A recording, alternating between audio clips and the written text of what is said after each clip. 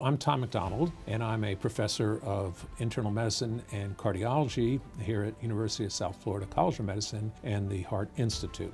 My research is focused upon genetic causes of cardiomyopathies. It's not clear how you go from a genetic variation that you inherit to disease in the heart. There are often many steps that take many years. So we're studying laminopathy or LMNA mutation cardiomyopathies, which leads to a weakened heart muscle. And that heart muscle also is prone to very severe rhythm disturbances that can cause sudden death.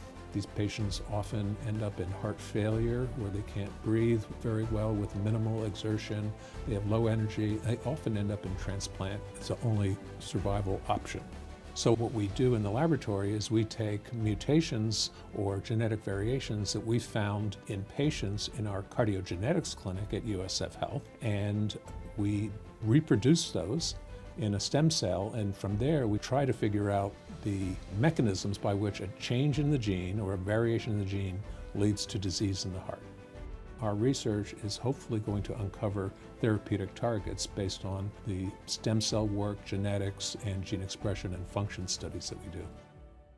Some of the unique aspects of this research in this location is that we have a very active and rich clinical population. We see many patients with a variety of clinical presentations and with the support from our laboratory and the Heart Institute, we're able to use that in our research.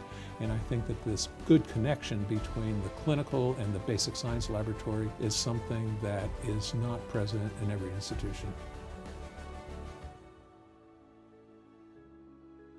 If we can discover treatable pathways that prevent the progression to disease, we will be able to keep people who are healthy when they're young, healthy when they get older, and not develop the disease that, say, their parents did.